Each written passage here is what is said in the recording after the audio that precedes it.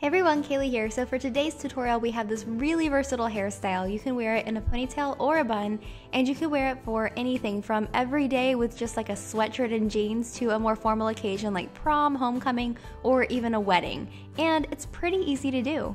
We're gonna start off by making a bump, and you're gonna start off by brushing your hair on top of your head straight back, and then sectioning off the hair from your temples back on either side then that's gonna be our section that we're creating the bump with. So you're gonna go ahead and take that hair out and flip it over so it's all in your face. Then take small sections and just give a little bit of teasing to each section. You can do bigger or smaller just depending on your taste. And then once you have that done, you're going to throw everything back and then smooth it out so that you don't see any of the teasing from the top. Then you're gonna gather it together in the back and use some bobby pins to go ahead and secure it in place.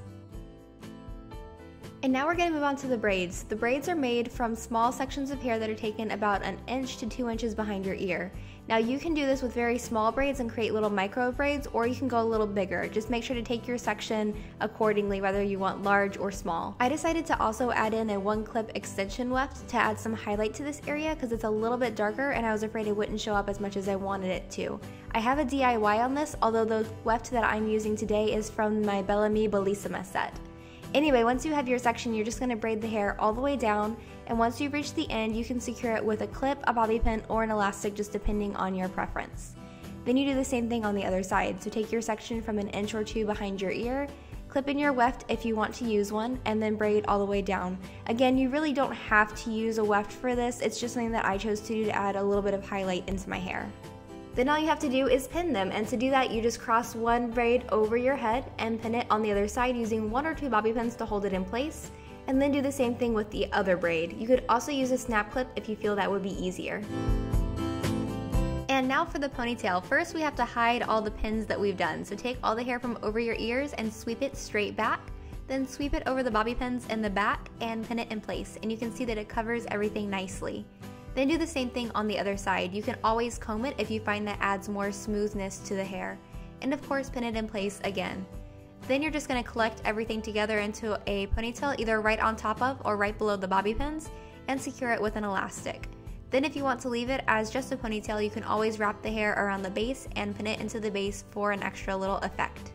And that's it if you want to just do the ponytail version of this hairstyle. Now if you want to go on and do the bun, it's really easy. The way I did it was to split my hair in half and then braid each section. Then once each side was braided, I pulled it apart really big so that it was super voluminous and then you'll see how I wrap them together.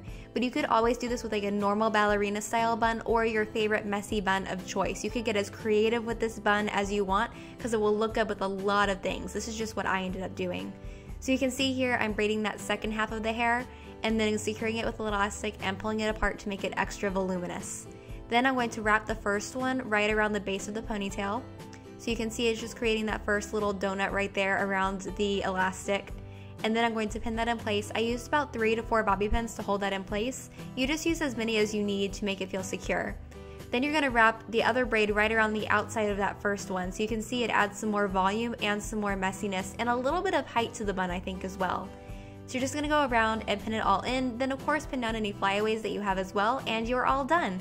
I love this hairstyle, especially with the bun. I think it's great for a formal event or even just like a casual day where you wanna have amazing hair. So anyway guys, I hope you love this and I'll see you in my next video. Love you very much. Mwah. Bye.